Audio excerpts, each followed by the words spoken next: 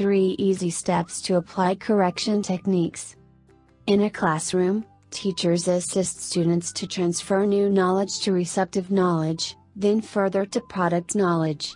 Take English as an example, learning involves pronunciation, meaning, usage, grammar, etc. Mistakes are frequently spotted while checking all the boxes.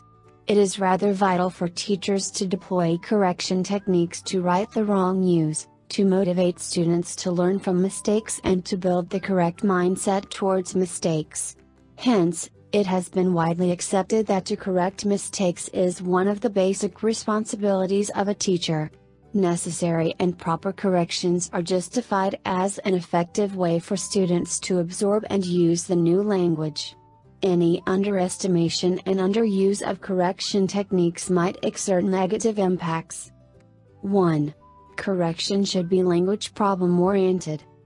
First, a language problem centered application means teachers should focus on the language, like pronunciation, grammar, and usage, etc., whether the speech itself is fact based or totally biased, is not relevant.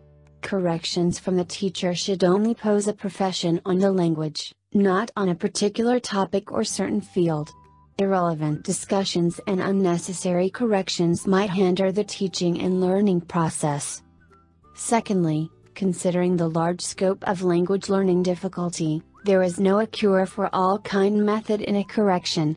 Teachers often spot mistakes in language sponging, receptive, and language using, productive, stages. Based on the learning difficulty, there are many factors and various approaches to look at.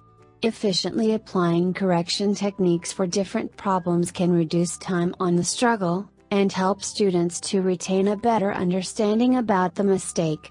For example, drilling could be used for pronunciation correction, however, if the student keeps pronouncing wrongly, and fails to identify the differences between the right and wrong, drilling can be very unproductive and frustrating.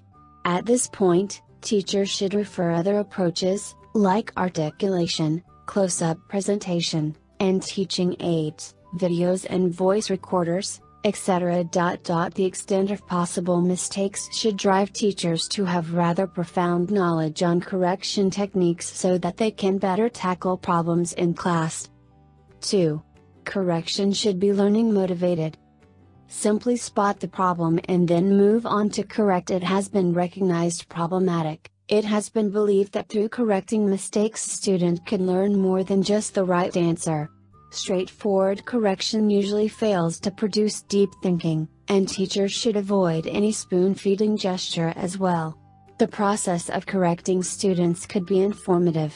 Teachers should guide through the thinking process, and stimulate learning, maximizing students' participation and minimizing their own intervene. In this way, it is possible to turn correction as a sweet spot not a breaking point.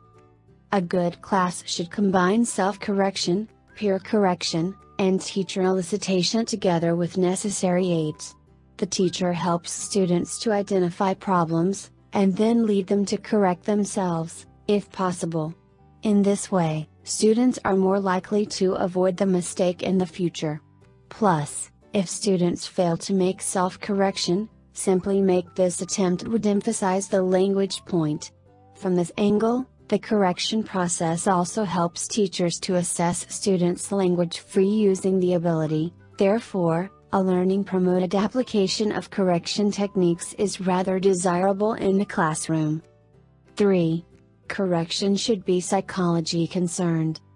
The teacher is a crucial influence on the way students perceiving and dealing with mistakes. Proper correction can help students establish a rather positive mindset towards learning. This section projects light on learners' psychological perspective. We briefly examine factors like the timing, when, possible correct trolls, who, and teachers' behaviors, to understand how to effectively apply correction approaches, also create a right image of mistake correction. Teachers should recognize the timing justly. So when to act. Preferably, Corrections should mainly happen in study and feedback phrases. During engage and activate sections, Fluency is prioritized, and if teachers have to correct, they can pose a light touch, such as to rephrase the wrong sentence and also avoid overcorrection. Correcting too much or too frequently might suppress students' willingness to express. Then, as correction proceeds, surely teachers' tone and body language are involved. The way they speak would give away tons of information and implication. For instance, as it has been suggested in the course, teachers' language weighs tremendously in building rapport. Even responding to mistakes, positive language and a friendly tone are desired to smooth out any possible uncomfortable situation. This is very crucial to build a relaxed, engaging, and friendly climate. Finally, apart from teacher and student, peer correction is another feasible approach and plays an important role in this game especially for a new teacher with an existing class. However, peer learning can also be transferred to peer pressure. Therefore, applying correction techniques also requires teachers' critical thinking, based on their judgment and rich experience to make the right decision. Are you ready to teach English abroad?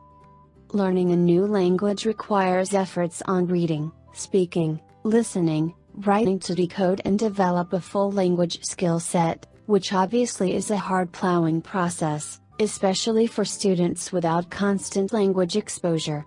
Learning environment without the right examples and mistake corrections can be very difficult for learners to master the accuracy and fluency. Teachers' role on correction is crucial, as we discussed in this essay, correction techniques cover tons of details sometimes an approach that functions well in one case, might fail in other. In order to better serve their role, a well-established understanding on correction techniques is no more than a good starting point for all the teachers. They need bring their correction skills to a well-mastered craft through constant exercise and testing. Speak with an ITTT advisor today to put together your personal plan for teaching English abroad.